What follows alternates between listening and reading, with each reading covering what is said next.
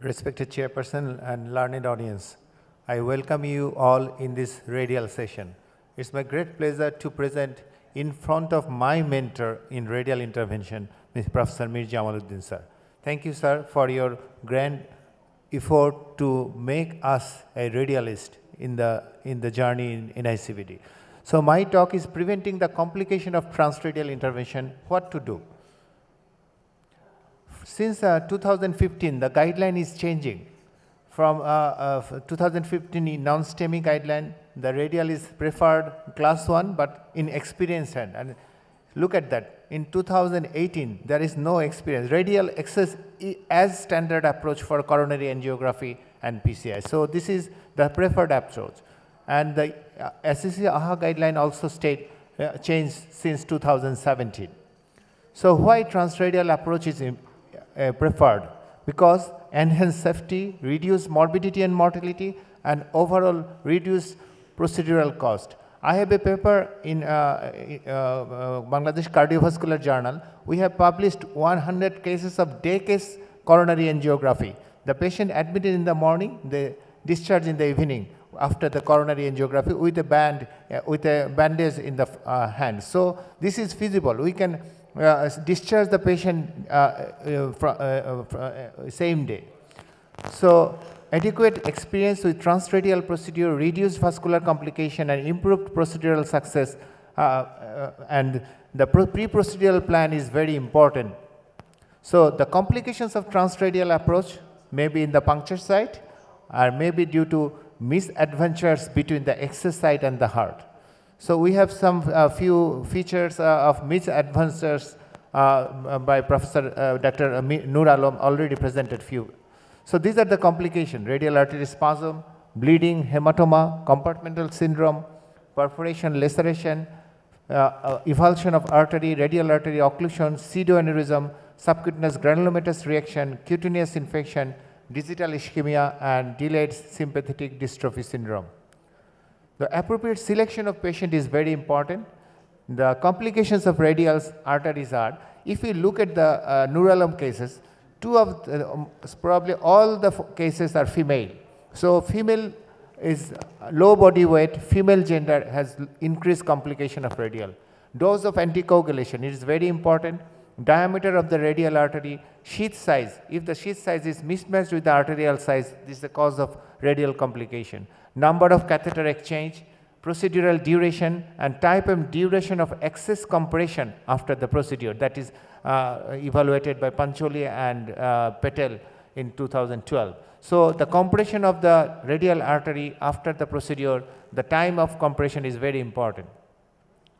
The radial artery spasm, this uh, frequency uh, varies from 0.8 to up to 14 percent, and this is the spasm and the predictors are female, small radial artery, diabetes, and, and the first attempt is the best attempt. Unsuccessful access at first attempt is one of the predictor of radial artery spasm. So it may be focal, it may be diffuse, may occur during puncture, during catheter manipulation, or due to repeated catheter exchange. So all can produce radial artery spasm. When to suspect absence of previous palpable pulse, and pain in the catheter manipulation and difficulty in catheter and wire advancement. So the key to prevent radial artery spasms are first prick is the best prick to cannulate. Vasodilator cocktails 200 microgram nitroglycerin and verapamil 2.5 through the arterial sheath. Gentle, gentle corkscrew motion of the catheter. Catheter and wire exchange should be minimal and downsize catheter if possible. 5 gram French guide catheter has less spasm and other complications and sedate the patient, especially if that patient is a female. They are so much anxious that sedation helps them. So how to overcome? We already uh, uh see that the how to overcome, but take time, sedate the patient. Subcutaneous GTN may help during puncture determination of spasm by taking radial angiography by diluted dye, additional dose of cocktail, then taken another cine. If persist, the spasm persists, we can took the 0.25 wire or a PTCA wire to negotiate it. And during catheter manipulation, sedate the patient and downsize the catheter. So this is a case of radial artery spasm.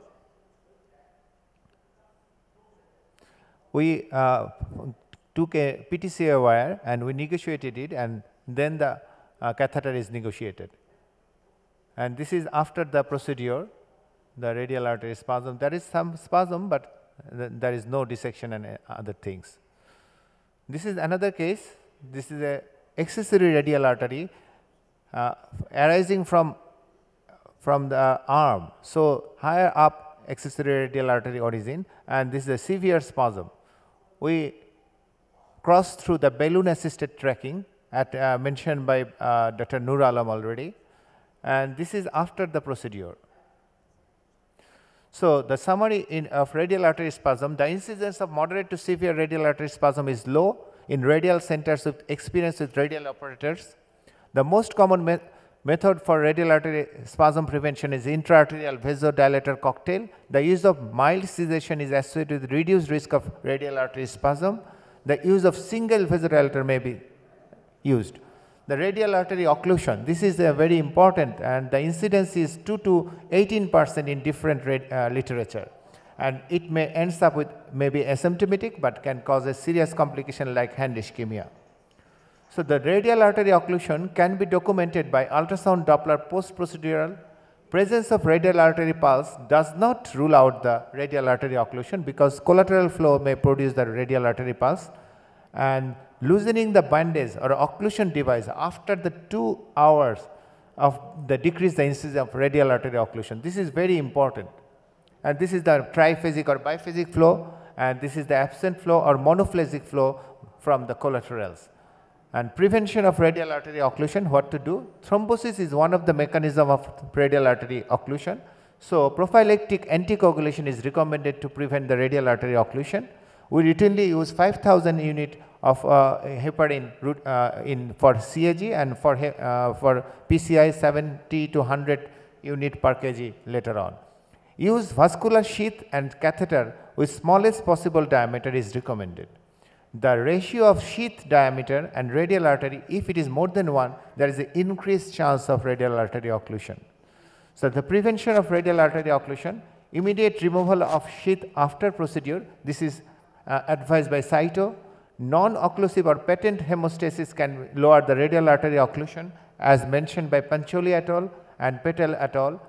Concomitant compression of ulnar artery may reduce the radial artery occlusion.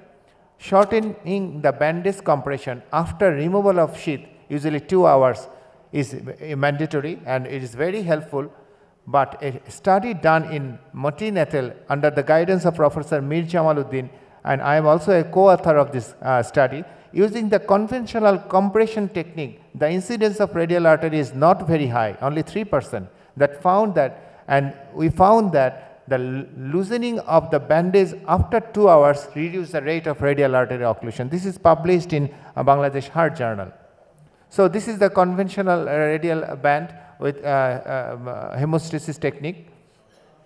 This is radial band, but I think 99 percent of our uh, uh, country we use not use the radial band, we traditional method of compression of bandage.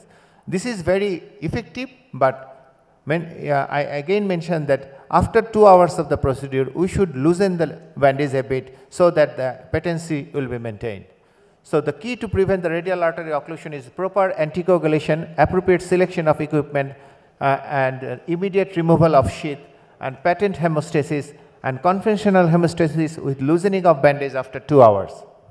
Radial artery perforation, excessive resistance in the passage of guide wire and catheter felt in the operator, complaints of significant local pain of radial artery or brachial region of, by the patient and development of an extensive hematoma may be present. So, these are the indicator of radial artery perforation. Predisposing factors are small radial artery, elderly patient with tortuous radial artery, hypertensive patient, uh, radial artery loops in infinite forceful manipulation of guide wire and catheter. So, we should be very gentle and corkscrew like movement of the catheter is very important and reuse catheter or diagnostic wire is one of the causes of radial artery perforation. So, how to confirm? Immediate removing the assembly and injection of a dye, diluted dye. And the protocols are apply the pressure cuff at the site of in, uh, induration, inflate the cuff for 15 minutes 10 to 15 millimeter uh, uh, uh, below the systolic blood pressure, monitor the arterial flow and oximetry, adjust the cuff pressure to obtain the signal, manage pain and hypertension, consider stopping anticoagulation, consider problems if no, uh, uh, uh, consider protamine if no planning of PCI, and if persistent swelling pain in duration after two in inflation of 50 minute, 15 minutes, consider urgent surgical consult.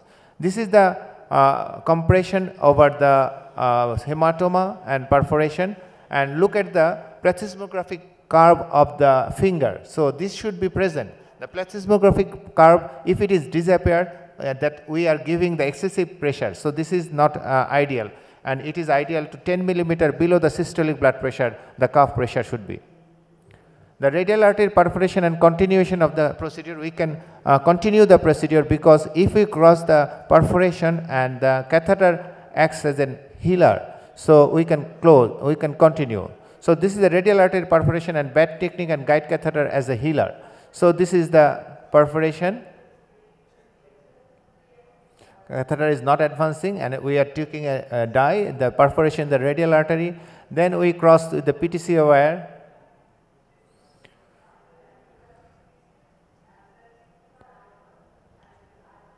Then we BAT technique crossing the uh, perforated area. And this is another another one and this is after uh, uh, uh we after uh, crossing the um, perforation uh, doing the procedure and after the procedure there is no perforation and the catheter acts as a healer of the perforation. So, when it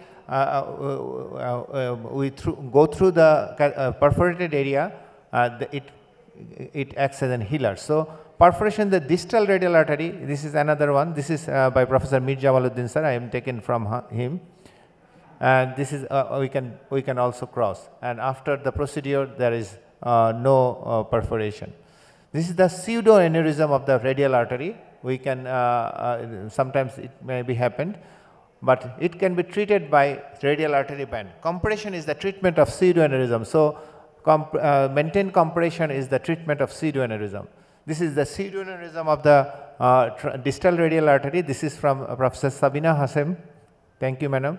And this is uh, need to be operated for removal of the pseudoaneurysm. This is the arteriovenous fistula and catheter entrapment. Uh, Professor Nur Alam already uh, mentioned uh, very nicely. So, the denoting is the key. Denoting is the key and, and it, it should be very gentle. We should be very gentle hematoma, the hematoma are gradually smaller easily. There is a hematoma scale. If it is less than 5 centimeter, it is grade 1, 10 centimeter grade 2. If it is below the elbow, grade 3, and if it is above the elbow, grade 4. So, this is the scale, hematoma scale, and this is the hematoma bandage, forearm hematoma, different hematoma. This is very interesting, the hematoma in the infraclavicular region. So, blister and hematoma, this is then a small hematoma and this is the compartmental syndrome. So, management of hematoma, apply pressure cuff at the site of induration, inflate 15 minutes, uh, systolic BP 15, uh, uh, 15 millimeter below the systolic blood pressure like the perforation and every management is same that of permanent. Check for compartmental syndrome. This is very important. The plethysmography by pulse oximeter probe is very important. Here is the pulse oximeter is in the finger and we will check every finger the plethysmographic curve. If it is okay, there is uh, nothing to audit. But if the curves are flat in any fingers, there is maybe a compartmental syndrome and if the patient's pain is not relieved, then we will call for the surgeon. So, the key to prevent hematoma is single puncture is the best puncture uh, uh method. Sheath artery ratio should be less than 1 travel always through the radial and brachial artery with fluoroscopic guidance. This is, sorry, there is a uh, spelling mistake, fluoroscopic guidance. This is very important. From the puncture site to the uh, uh, ascending aorta, we should through the fluoroscopy. So, inadvertent uh, journey to a small branch may produce an hematoma. So, this is very important. Uh, if the difficulty of the catheter manipulation, check with a contrast, put a compression with a BP cuff during the procedure at the site of catheter resistance. Don't wait for hematoma development. If we feel a dif uh, uh, difficulty to pass the site, we may have, we may uh, found that there may be a hematoma here. But if we put a compression during the procedure without producing hematoma, this may prevent hematoma. Use combo technique is a very important. This is the combo technique and the five French catheter, uh, multi-purpose catheter over the Uh, uh, uh, through the six French guide catheter and this is the very important and almost almost I think it is 70 to 80 percent reduction of radial artery complication after we using the combo technique. Uh, I think Professor Mir Jamal sir will agree with me. There is a very few complication after the combo technique. So this is nothing special, but we have to have our 125 millimeter multi-purpose catheter, five French to, for that uh, assembly. So this is very important. So Mr. Chairman, the uh, transradial route is the preferred route of coronary intervention. It has few complications than transfemoral route, even though the complication of transradial intervention is not uncommon. Complication is less in experienced head, so learning curve is very important. Pre-procedural planning, per-procedural and post-procedural appropriate measure reduce the complication. Immediate recognition of complication and prompt action is required for proper management. Thank you very much. Thank you for your patience hearing.